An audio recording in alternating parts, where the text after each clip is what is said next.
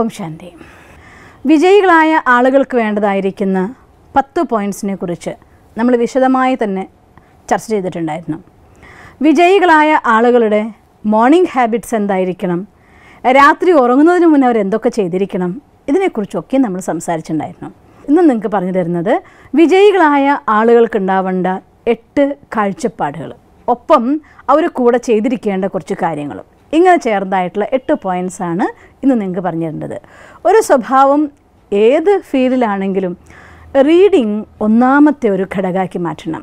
Reading എന്ന് പറയുന്നത് ഒരു കോമ്പൗണ്ട് അക്കൗണ്ട് പോലെയാണ് കൂട്ടുപലിശ പോലെ.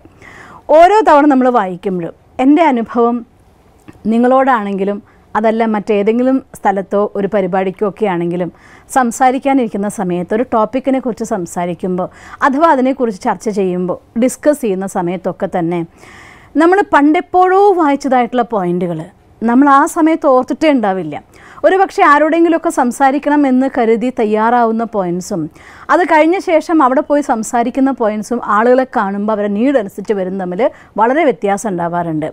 കാരണം എന്താണെന്ന് വെച്ചാൽ ആളുകൾ മുന്നിലിരിക്കുന്നവരുടെ മുന്നിലെ ഭാവവും ഭാവനയും നമ്മൾ മനസ്സിലാക്കുമ്പോൾ അതനുസരിച്ച് നമ്മുടെ ഉപബോധ മനസ്സ് പണ്ട് എന്നോ പഠിച്ചു വെച്ച വായിച്ച് അറിഞ്ഞ് കാര്യങ്ങളെയൊക്കെ കൂട്ടിയിണക്കിക്കൊണ്ട് പുതിയൊരു രൂപത്തിലും ഭാവത്തിലും അത് പുറത്തു വരാറുണ്ട്.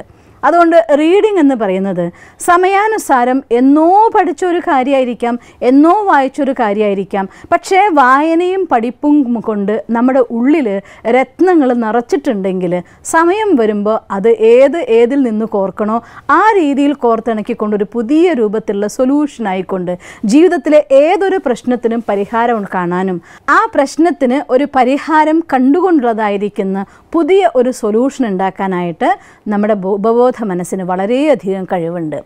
അതുകൊണ്ട് പഠനത്തിലൂടെ ആഴത്തിൽ ഉൾക്കൊണ്ടതായിരിക്കുന്ന അറിവുകൾ മാത്രമാണ് അത്തരത്തിൽ കൂട്ടിയിണക്കിക്കൊണ്ട് പുറത്തേക്ക് വരുള്ളൂ. നമ്മുടെ ജീവിതത്തിൽ ഏത് ദിവസം എന്നുണ്ടാവും എന്തുണ്ടാവും എന്നൊന്നും നമുക്കറിഞ്ഞൂടാ.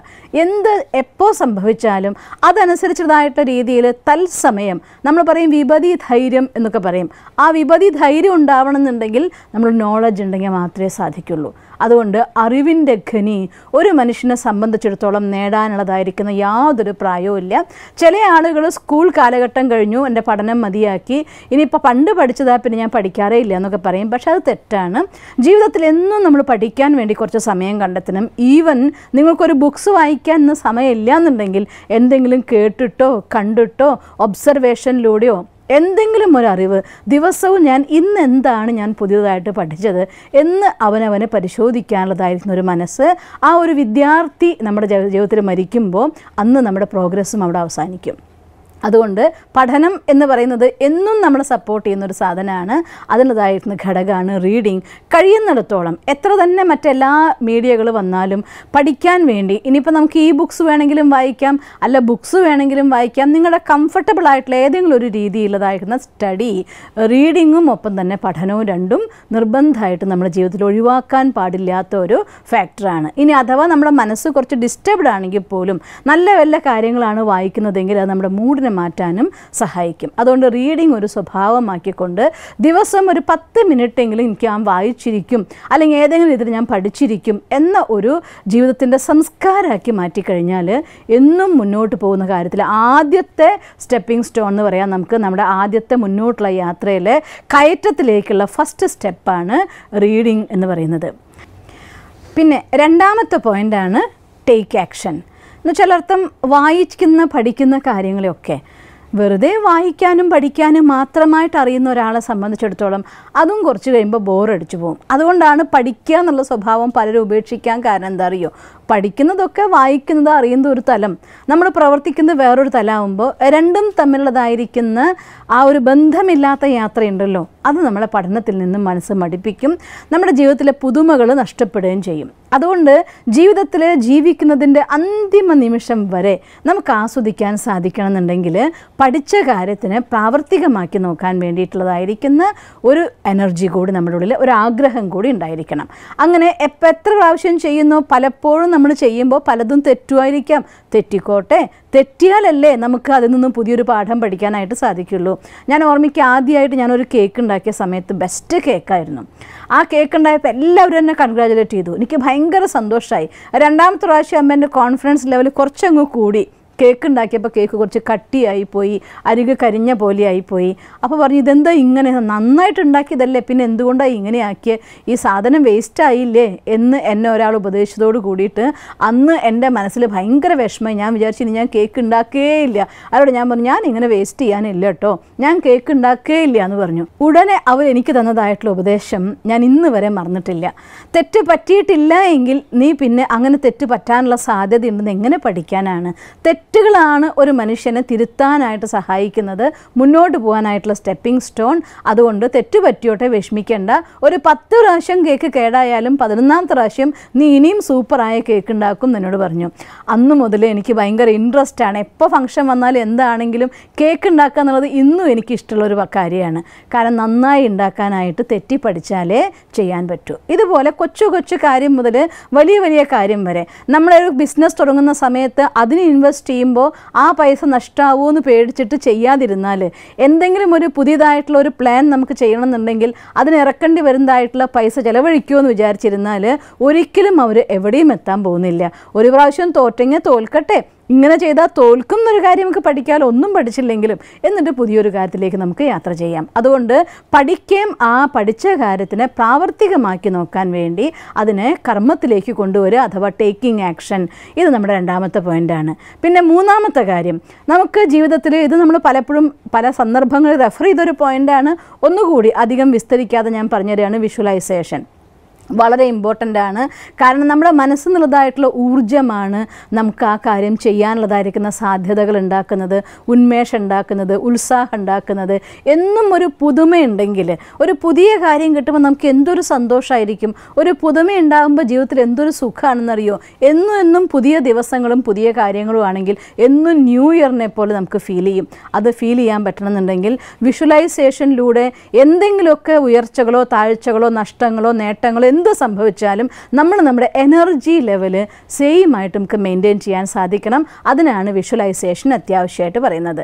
അതിനുവേണ്ടി ഏർലി മോർണിംഗ് അവേഴ്സാണ് ഏറ്റവും നല്ലത്. വിഷ്വലൈസേഷന് വേണ്ടിയുള്ളതായിരിക്കുന്ന കാര്യം രാവിലെ നേരത്തെ എഴുന്നേൽക്കുകയും മെഡിറ്റേഷൻ ചെയ്യുകയും മോർണിംഗ് ഹാബിറ്റ്സിൽ അതിനെക്കുറിച്ച് നന്നായിട്ട് നിങ്ങൾക്ക് പറഞ്ഞു തന്നിട്ടുണ്ട്. ആ വീഡിയോ ഒന്നുകൂടെ കണ്ടു നോക്കുകയാണെങ്കിൽ മനസ്സിലാക്കാവുന്ന കാര്യമേ ഉള്ളൂ അതുകൊണ്ട് വിഷ്വലൈസേഷൻ വളരെ അത്യാവശ്യമായിട്ടുള്ള ഒരു ഫാക്ടറാണ് പിന്നെ ഒരു കാര്യം വേണ്ടത് നമുക്ക് നമ്മളോട് തന്നെയാണ് ഏറ്റവും അധികം മത്സരിക്കാനുള്ളത് നമുക്കൊരു ഓർമ്മ വേണം.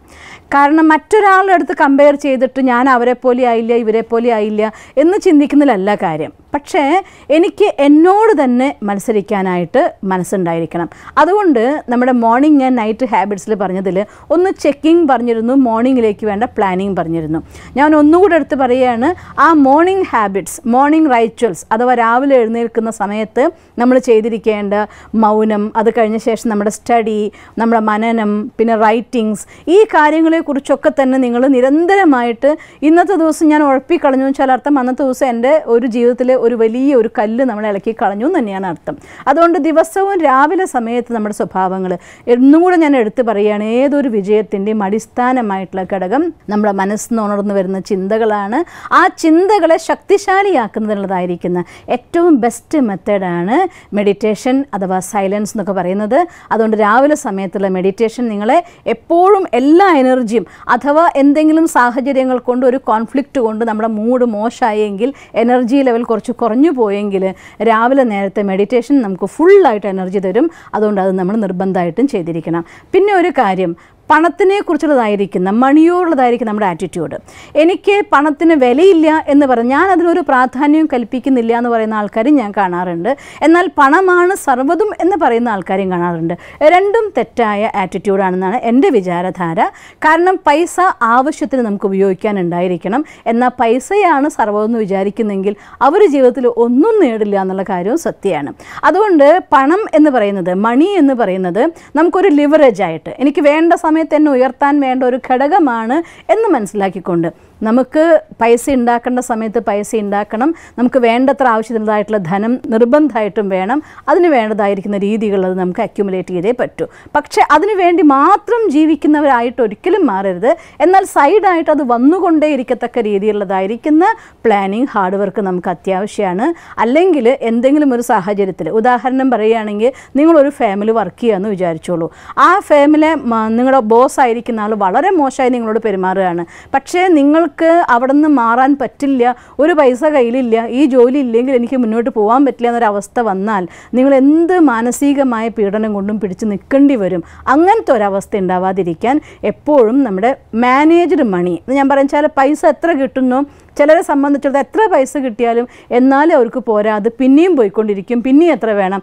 അങ്ങനെയല്ല മണി മാനേജ്മെന്റ് എന്ന് പറയുന്നത് വളരെ നല്ല ഒരു സ്വഭാവമാണ് അതിനുവേണ്ടി നമ്മൾ ശ്രദ്ധിച്ചിരിക്കണം. പിന്നെ വേറൊരു കാര്യം എന്താണെന്ന് വെച്ചാൽ എപ്പോഴും നമ്മൾ കാൽക്കുലേറ്റഡ് റിസ്ക് എടുക്കാനായിട്ട് തയ്യാറാവണം. എന്ന് വെച്ചാൽ എനിക്ക് ഇപ്പോൾ നല്ലൊരു സാലറി കിട്ടി നന്നായിട്ട് ഞാൻ മുന്നോട്ട് പോകുന്നുണ്ട് എട്ട് മണിക്കൂർ ജോലിയേ ഉള്ളൂ അത്യാവശ്യത്തിനുള്ള പൈസയൊക്കെ ആയി ഇനി ഞാൻ ഇങ്ങനെ അങ്ങ് പോയാൽ മതി എന്ന് വിചാരിക്കുന്ന ആരും ഹൈ ലെവലതായിട്ടുള്ള സക്സസ് നേടാറില്ല.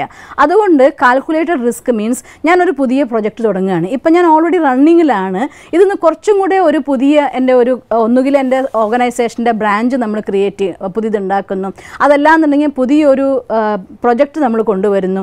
ഇങ്ങനെ എന്തെങ്കിലുമൊക്കെ ഇതായിട്ടുള്ള കാര്യത്തിൽ നമ്മൾ എപ്പോഴും അതിന് വേണ്ടതായിരിക്കുന്ന പുതുമ കാണുകയും അത് ചെയ്യുകയും വേണം. കാൽക്കുലേറ്റഡ് റിസ്ക് എന്ന് ഞാൻ പറയാൻ കാരണം അങ്ങനെ ഒരു കാര്യത്തിന് വേണ്ടി നമ്മൾ നമ്മുടെ സമയം എനർജി എല്ലാം ഡെപ്പോസിറ്റ് ചെയ്യുമ്പോൾ അതിന്റെ ഒരു ലിമിറ്റ് കഴിഞ്ഞ ശേഷം ആ സമയം വരേണ്ടതായിട്ടുള്ള എന്റെ റിസോഴ്സസ് മണിയാണെങ്കിലും മാൻ ആണെങ്കിലും എന്താണെങ്കിലും റിസോഴ്സ് എന്റെ കൂടെ എത്ര ഉണ്ടാവുമെന്നും എത്ര വരെ എനിക്ക് പിടിച്ച് നിൽക്കാം എന്നുള്ളതായിരിക്കുന്ന ആദ്യം നമ്മളൊന്ന് കണ്ടിട്ട് വേണം തുടങ്ങാനായിട്ട്. അല്ലാതെ എന്തോ ഇമാജിനേഷനിൽ ചാടി വരരുത്.